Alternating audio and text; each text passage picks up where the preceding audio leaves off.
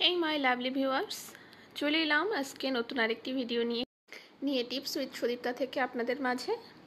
তো আজ আমি আপনাদের সাথে শেয়ার করব কীভাবে আমরা খুব সহজে বাড়িতেই ফিল্টার পরিষ্কার করে নিতে পারি। তো ভিডিওটি ভালো লাগলে অবশ্যই একটি লাইক দিয়ে দিবেন। তো এটা মানুষ যতই বলুক না কেন সহজ একটি কাজ। আমার কাছে মনে হয়েছে এর থেকে কঠিন আর কিছুই হতে পারে না। এটা যদিও ছয় মিনিটের ভিডিও, তবুও এটা কিন্তু পরিষ্কার করতে আমার মিনিমাম আধা ঘণ্টা লেগেছে। তো যাই হোক, কথা না বাড়িয়ে মূল আসা যাক। এটা পরিষ্কার করতে আমার তিনটি উপকরণ লেগেছে, সেটা হলো ভিনেগার, বেকিং সোডা আর হচ্ছে লেবু। আমি এখানে বেকিং সোডা আমার কাছে নর্মালটা ছিল না, তাই জন্য আমি কেক বানানোর বেকিং পাউডার সেটা ইউজ করেছি। তবে আমি কোনো পার্থক্য তেমন কিছুই দেখি নাই। একই হয়েছে আমার কাজ। তো এই তিনটি উপকরণ খুব ভালোভাবে আমি লেবুর উপরে নিয়ে, লেবু দিয়ে সুন্দরভাবে পুরা ফিল্টারটি লাগিয়ে নিয়েছি।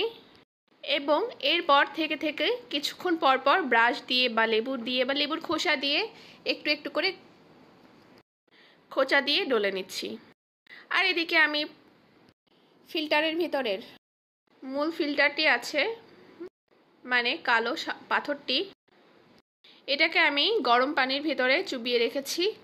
আর এই গরম পানির মধ্যে কিন্তু লেবু দেওয়া এবং সাথে বেকিং সোডা আর ভিনেগার দেওয়া। এটাকে আমি ঠিক যখন থেকে এই ফিল্টার মাজা ঘষা শুরু করেছি, তখন থেকে এটাকে আমি এই গরম পানির ভেতরে ভিজিয়ে রেখেছি। আর এর যে ছোট ছোট পার্সপাতিগুলো আছে, সেগুলোও কিন্তু আমি একইভাবে ওই পানির আশেপাশেই দিয়ে রেখেছি। যাতে করে এই পানির যত আয়রন আছে, সেটা কিছুটা হলেও গরম পানির দ্বারা নরম হয়ে যায়। আর এদিকে আমি ফিল্টারটি ঘষা মাজা করতেই আসি, করতে আসি, কিন্তু ওঠার নামগন্ধই নাই। এদিকে আমার হাতের চামড়া ঠিকই ক্ষয় হয়ে যাচ্ছে, কিন্তু ফিল্টার পরিষ্কার আমি করতে পারছিলাম না। অনেক বেশি কষ্ট হয়ে যাচ্ছিল। যদিও এটা কিন্তু আমার খুব বেশি পুরানো না, তারপরেও জানি না কেন জানি আয়রনগুলো খুব বেশি চেপে বসেছিল, আর আমার আসলে অনেক কষ্ট হয়েছে। এদিকে আমি ব্রাশ দিয়ে যতদূর সম্ভব চারিপাশে খুব ভালোভাবে ডলে নিচ্ছি, কোনা, কামচি, যত যা যা আমার হাত যায় সব কিছু এই আর এদিকে কিন্তু আমার স্টিকার লাগানো ছিল, যেটা আমি নতুন থেকে তুলি নাই, যার কারণে হচ্ছে এটার আঠাটা কিন্তু ভালোভাবেই গেথে গিয়েছে। তো যাই হোক, এখন আমি মূল চেম্বারটি ওয়াশ করে নিচ্ছি। মানে যেখানে যে সব ওয়াটার ফিল্টার হয়ে জমা হয়, সেই জায়গাটি আমি ভালোভাবে ওয়াশ করে নেওয়ার চেষ্টা করছি। এর ভিতরে আমি পানি জমিয়েছি এবং সেটা পুনরায় তিন থেকে চারবার মতন ঢেলে দিয়েছি, যাতে ভিতরে কোনো ময়লা বা আয়রন থাকলে সেটা পানির দ্বারা বের হয়ে যায়। যেহেতু এই অংশটি খোলা যায় না, যার কারণে আমি এভাবে এটা ওয়াশ করে নিচ্ছিলাম। তো এখন ফিল্টারের একোনা সেকোনা আমি একটু ঘষে দিচ্ছি। কারণ কোনোভাবেই আমি আয়রনটি তুলতে পারলাম না। আর এদিকে এই যে কালো স্টোনটি, এটা আমি একটু ব্রাশ দিয়ে ঘষে আয়রনগুলা তুলে দিচ্ছি যাতে করে আমার ফিল্টারের পানিটা ভালোভাবে ফিল্টার হতে পারে। তো আমার অবশেষে সব কিছু ঘষা মাজা যখন শেষ, তখন আমি এক এক করে সব পার্টগুলা ভালোভাবে ধুয়ে নিচ্ছি। যাতে এতে কোনো রকমের কোনো জীবাণু বা কোনো রকমের কোনো ময়লা না থাকে এবং যতদূর সম্ভব লেবু এবং ভিনেগার দিয়ে বারবার করে ওয়াশ করে নিচ্ছি।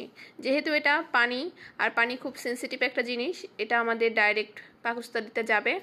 সুতরাং এটা একটু সাবধানের সাহায্যে এবং ডিটারজেন্ট বাদে ওয়াশ করে নেওয়ার চেষ্টা করতে হবে। আর এটা দেখুন, আমার কিন্তু গরম পানিতে রেখে অনেকটাই এই যে নোংরাগুলা নরম হয়ে গিয়েছে, আর সেটাকে আমি এখন একটু ব্রাশের সাহায্যে ভালোভাবে তুলে দেওয়ার চেষ্টা করছি। তো এক এক করে আমি পার্টগুলা ওয়াশ করে নিচ্ছি।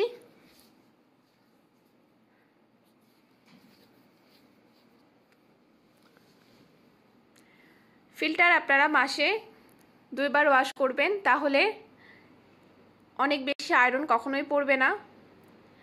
আর চেষ্টা করবেন চোখে যখনই দেখবেন পানিতে একটু আয়রন বেশি জমেছে, ঠিক তখনই সেই পাটটা নিয়ে ধুয়ে ফেলার চেষ্টা করবেন। তাহলে একবারে যে কষ্টটা পেতে হয় সেটা থেকে কিছুটা হলেও কিন্তু মুক্তি পাওয়া যাবে। এই যে দেখুন, আমি এদিকে সব পাটগুলো এক এক করে ধুয়ে নিচ্ছি। আর আপনারা কিন্তু ফিল্টারের এই চাকনিটা ওভারনাইট ভিজিয়ে রাখার চেষ্টা করবেন, এতে করে ময়লাটা অনেক বেশি হালকা হয়ে যাবে। তো আমি এই যে বাইরের পার্টগুলো ডিটারজেন্ট দিয়ে একটু ওয়াশ করে নিচ্ছি, কারণ এগুলা তো ধুলেই সব চলে যাবে, এটা কোনো সমস্যা নাই, কারণ এইগুলাতে অত বেশি চিপা চাপা নাই। তো এদিকে আমার এই যে স্টোনটা এটা কিন্তু পরিষ্কার করেছি, তারপরেও আমার কেন জানি না মনে হচ্ছে এটা ভালো ওয়াশ করা হয় নাই। তো আমি এখন কি করব, আবারও কিছুটা গরম পানি করব, আর যেহেতু এটা দ্বারাই আমাদের মন পানিটা ফিল্টার হবে, এই জন্য আমি চাচ্ছি এটাকে আবারও গরম পানিতে কিছুক্ষণ ভিজিয়ে রাখব। তো এখন আমি এটা ধুয়ে নিলাম এবং আবারও কিছুটা পানি নিয়ে তার ভেতরে একটু বেকিং সোডা আর ভিনেগার দিয়ে আমি এটাকে আবারও গরম করে নিচ্ছি এবং নর্মাল পানি দিয়ে ওয়াশ করে আমি এই ফিল্টারটি সেট করব। তো ভিডিওটি স্কিপ না করে আপনারা দেখতে থাকুন। আর আপনাদের যদি ভিডিওটা একটুও ভালো লেগে থাকে তো অবশ্যই একটি লাইক দিয়ে চ্যানেলটি সাবস্ক্রাইব করে নিতে ভুলবেন না। আর যারা আমার ফেসবুক পেজ থেকে দেখছেন, তারা প্লিজ পেজটি ফলো করে নিতে ভুলবেন না।